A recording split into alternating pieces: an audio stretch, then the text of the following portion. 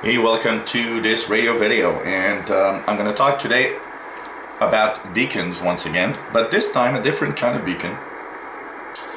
Um, they are the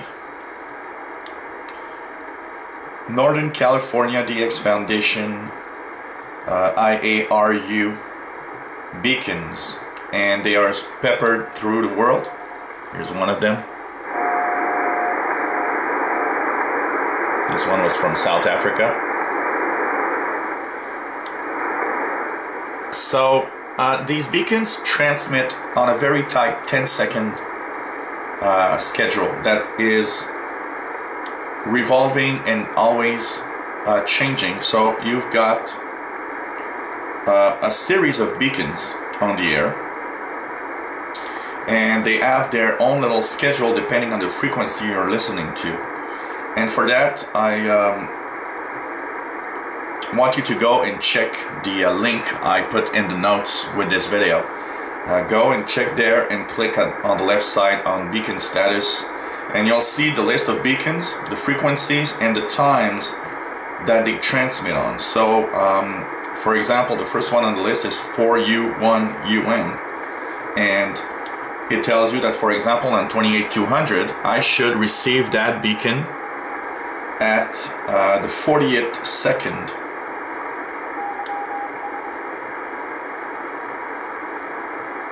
All of these broadcast um, typically in a revolving schedule that lasts uh, a total of three minutes. And every three minutes, uh, the beacons restart, so the list starts again. Now, it's a little difficult to understand maybe at the start but it's a great way to brush up on your Morse code to try to ID these beacons first of all. Uh, having a very accurate clock is important because these beacons are very precise on their times of transmissions. Um, if you have an iPhone or an iPad, there's a app that actually makes you follow the beacon. So here you see this app. It's telling me which beacon is transmitting on 28200 right now.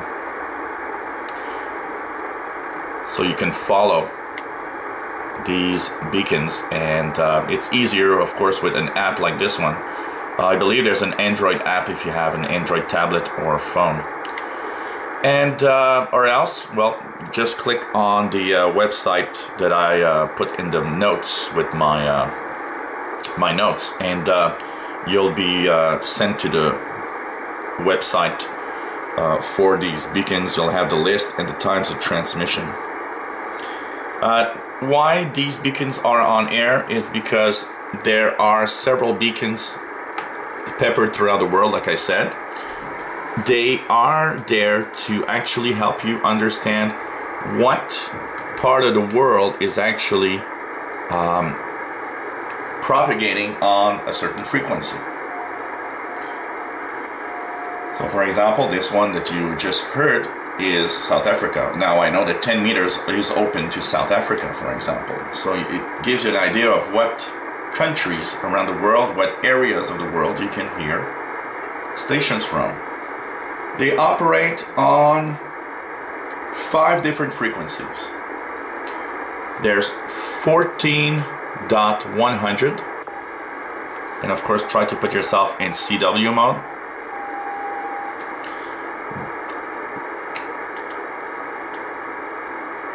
You can also try 18.110.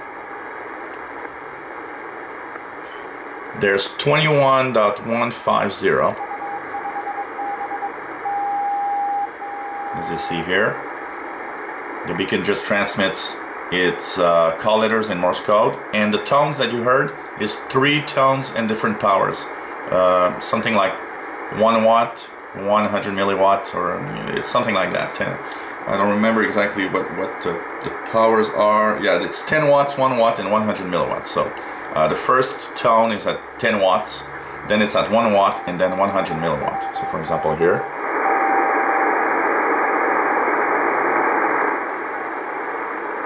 So they ID in Morse code then they send the three tones and 10 1 and uh, 100 milliwatts. And so this schedule revolves. It's not the same, it, it well, it's all the same stations from around the world on all these frequencies, but they're not all at the same time. So meaning that if you're hearing, for example, South Africa that I heard on 10 meters, on the other frequencies, it's a different station because each station transmits only uh, on one frequency at a time. And uh, you can also get them on 24.930 and finally 28.200.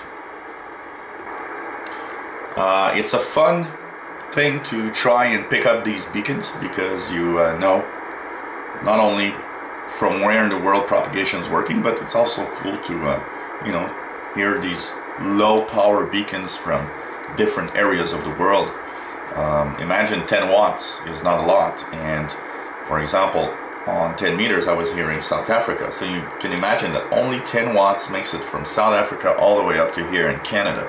It's pretty cool. So uh, check the page and um, the page will also let you know uh, which beacons are off air, which ones are still on air because there are beacons sometimes that are off air temporarily. So um, it's something interesting to check for.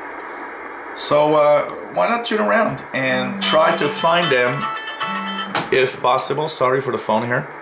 Uh, try to uh, you know find them and um, try to uh, ID if you don't uh, know Morse code it's uh, one of the great ways to kind of you know brush up and learn a little bit Morse code it's gonna be uh, an interesting way you can also decode with your computer or some electronic devices if you want to you know have it easy you can use your computer to code the uh, Morse code if you want.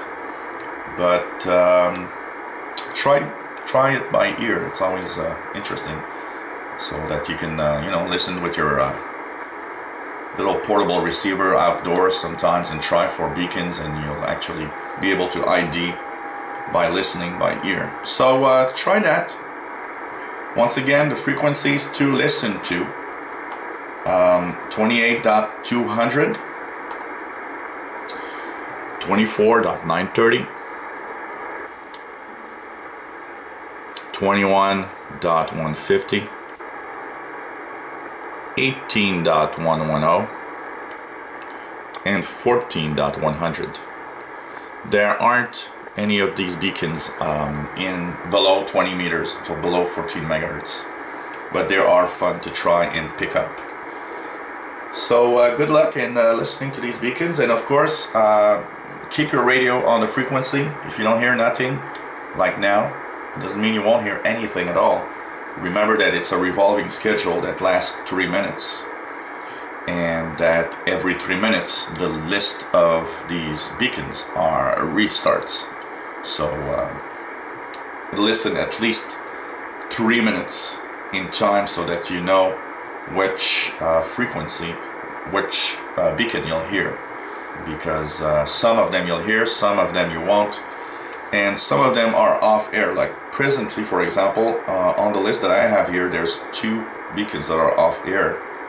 Um, Sri Lanka and United Nations. But all the rest seem to be okay uh, and working. Uh, some depend on the time. There are some beacons that operate on a schedule. So uh, good luck in listening to those and uh, if you are looking at what app I'm using um, on my iPhone it's called uh, BeaconAid. It's HFDX um, I don't remember if it's free or paid um, but if you have an iOS device like an iPhone or iPad I think it's worth it uh, even if it's you know like 99 cents or something. I think it's worth it to download. It makes much easier understanding what beacon is on the air right now. So I uh, hope that you'll try for those and uh, 73.